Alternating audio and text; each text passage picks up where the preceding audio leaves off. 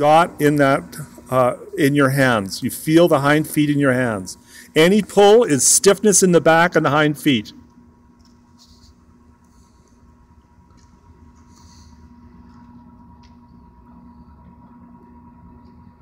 That's it.